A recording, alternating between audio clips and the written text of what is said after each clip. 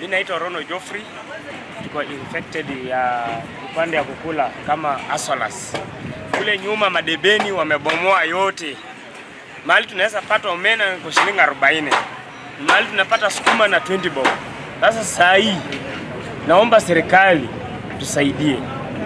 Serikali ya kaunti, Bwana Lusaka, tulikupigia kura tukakurudishia kwa kiti, tukajua kwamba utatusaidia tangu hii hii vitu yote ifanyike. Hujai tuambia maneno yoyote, hujai kuja hapa. Saa hii omena tikini sisi tutakula wapi kama wanajua kali? Namba 2 naomba hii serikali ya kaunti ungepea watu notice, na watu kila siku wanalipa ushuru. Kuna watu wa uniform wanatembea hapa wamefaa yelo.